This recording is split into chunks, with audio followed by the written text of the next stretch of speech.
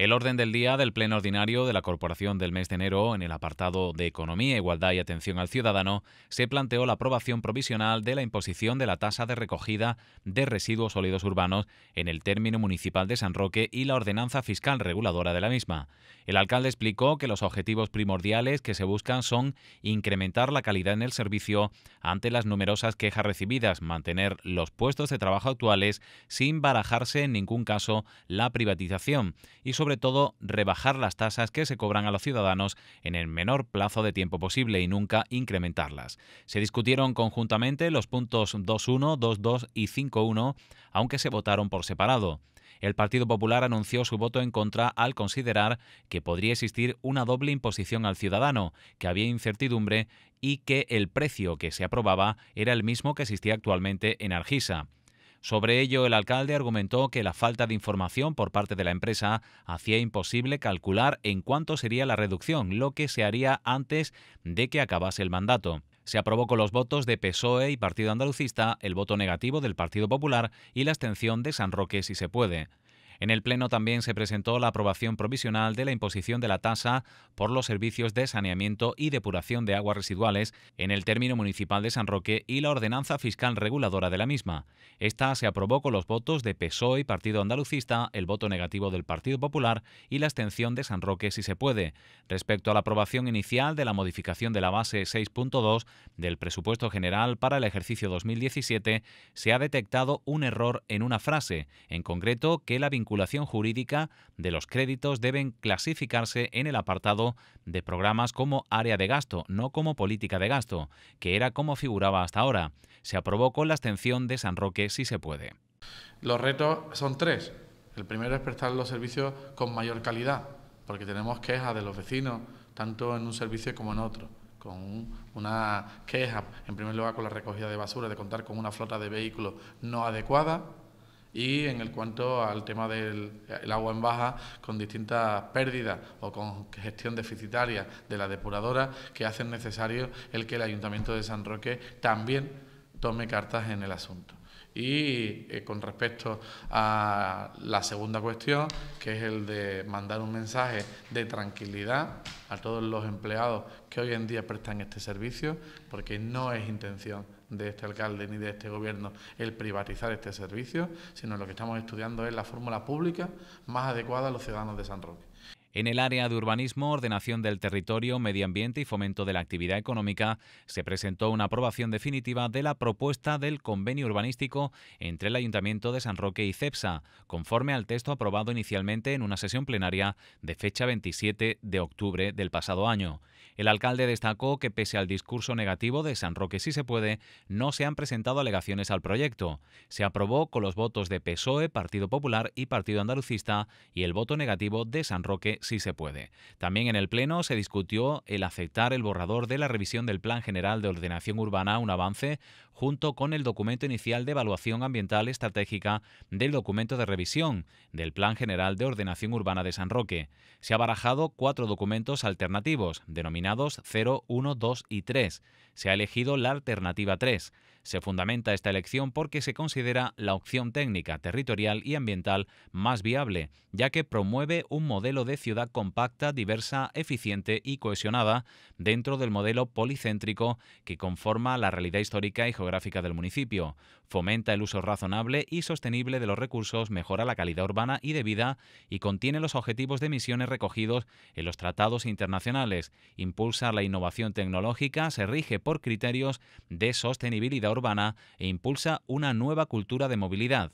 Estos documentos estarán durante un mes en exposición al público y se inician los trámites para solicitar a la Junta de Andalucía que proceda a la evaluación ambiental estratégica. En la exposición el alcalde ha señalado que se trata de un documento con una vigencia de 10 años y que pretendía el desarrollo inmobiliario, turístico deportivo de las barriadas y de pequeñas y medianas empresas. Se aprobó con los votos de PSOE, Partido Popular y Partido Andalucista y la abstención de San Roque si se puede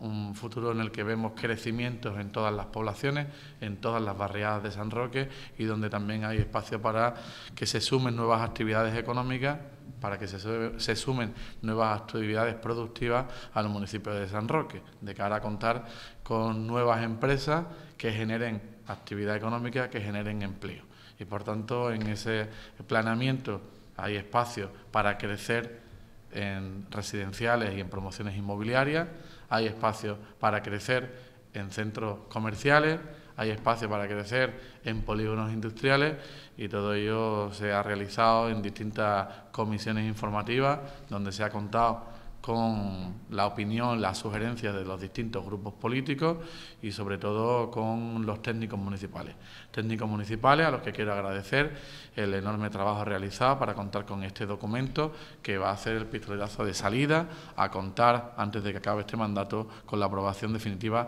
del Plan General de Ordenación Urbana de San Roque. Respecto al área Secretaría General, hubo una resolución, recurso de reposición interpuesto por don Jesús Mayoral Mayoral contra la aprobación de los acuerdos aprobados sobre concesión de compatibilidad para el ejercicio de actividad privada de Daniel Rodríguez Ruiz y Susana Cla Cárdenas, ambos policías locales del Ayuntamiento de San Roque. En el Pleno Ordinario de noviembre de 2016 se aprobó conceder la compatibilidad a ambos policías locales. El, concejal Jesús Mayoral presentó un recurso de reposición que se desestima en base al informe jurídico de Secretaría General. Se aprobó con los votos de PSOE, Partido Popular y Partido Andalucista y la abstención de San Roque si se puede. Por otra parte, hubo la aprobación de la propuesta de concesión de compatibilidad para el ejercicio de segunda actividad privada de Daniel Cárdenas Marín, técnico de obras públicas del Ayuntamiento de San Roque. Se aprobó en base al informe de Secretaría General que condiciona esta compatibilidad a una serie de cuestiones de carácter funcional y horaria.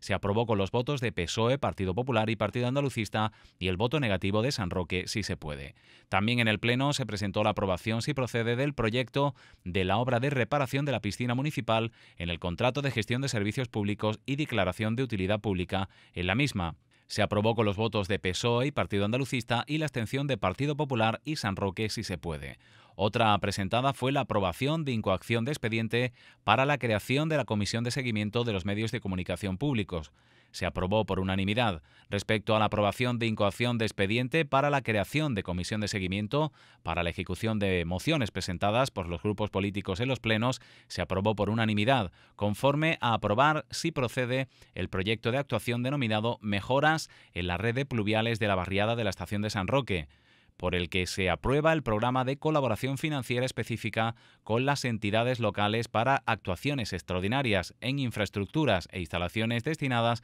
a la prestación de servicios esenciales y básicos de la competencia municipal en Andalucía, dañadas por la situación de emergencia y catástrofes públicas ocasionadas por los fenómenos meteorológicos adversos sufridos en diversas zonas de la provincia de Huelva, Cádiz y Málaga desde el 1 de diciembre al 5 de diciembre de 2016. Se trata de destinar los 220.000 euros que ha aprobado la Junta de Andalucía como ayudas por las fuertes lluvias de diciembre para el Ayuntamiento de San Roque a la realización de dos de recogida de aguas, uno en la calle Blas Infante para evitar inundaciones en la zona del Patio García y Huerta Aguirre y otro en la zona de la Plaza Ortega Bru para atajar los problemas en el Colegio San Bernardo. Se reunirá ordinariamente cada seis meses y extraordinariamente cuando lo pida el grupo. Mociones presentadas por razones de urgencia se presentaron tres que fueron incluidas en el orden del día por unanimidad. La primera era una moción para el rescate del servicio de abastecimiento de agua potable. Se aprobó con los votos de PSOE y Partido Andalucista,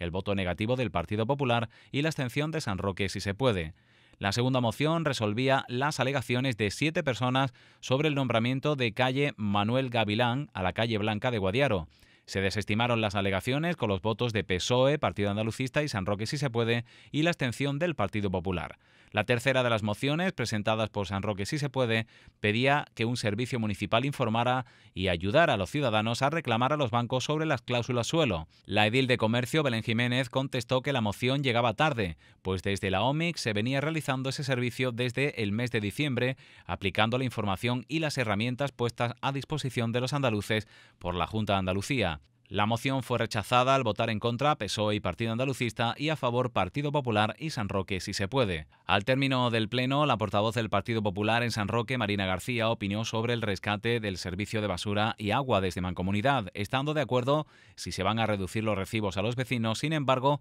votaron en contra porque no lo veían bien argumentado. Por otra parte, han querido hacer constar su apoyo a la gente de la policía local que está pidiendo la conciliación familiar. Como saben los sanroqueños, el alcalde tiene la intención de rescatar el servicio de mancomunidad de la la basura,